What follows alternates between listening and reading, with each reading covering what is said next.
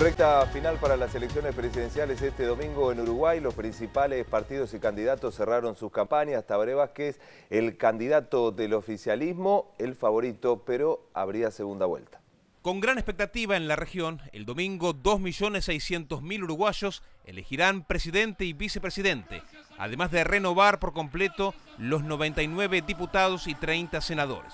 En un escenario en el que la mayor parte de consultoras pronostican una segunda vuelta el 30 de noviembre. Tabaré Vázquez fue el principal orador del multitudinario cierre del Frente Amplio realizado en Montevideo. Junto a su compañero de fórmula, Raúl Sendrick, el expresidente repasó los principales logros de gestión de su partido, prometiendo continuar el camino. Cuando el pueblo canta y ríe porque el pueblo está feliz. Y no era así Hace solamente 10 años atrás no era así. El Uruguay era un país triste, gris.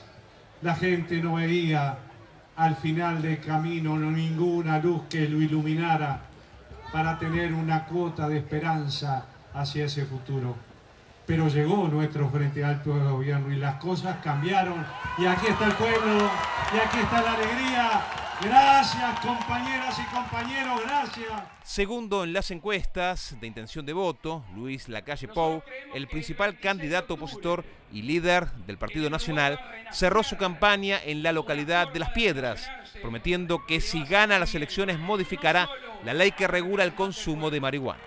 Nosotros creemos que el 26 de octubre en el Uruguay va a renacer una forma de relacionarse que le va a hacer muy bien, no solo a los representantes del pueblo, sino sobre todo a la gente. Los últimos sondeos promedian para la fórmula Vázquez-Sendrick un apoyo en primera vuelta del 43,5%.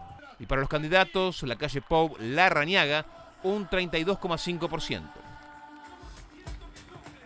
Super domingo de elecciones en la región porque también Brasil elige a su próximo presidente pasado mañana y según las últimas encuestas ha crecido Dilma definitivamente con el 53% de la intención de voto, luego como decíamos de la aparición muy fuerte en la campaña del expresidente Lula da Silva. La diferencia con Aesio Neves es de unos poquitos puntos porque lo ubican con el 47% de los votos. Es apretada la diferencia pero para una segunda vuelta un solo voto vale para ganar la elección. Más de 142 millones de votantes van a ir a las urnas a definir al próximo presidente de Brasil. Será cobertura de Visión 7 tanto en Brasil como en Uruguay, lo que ocurra este domingo.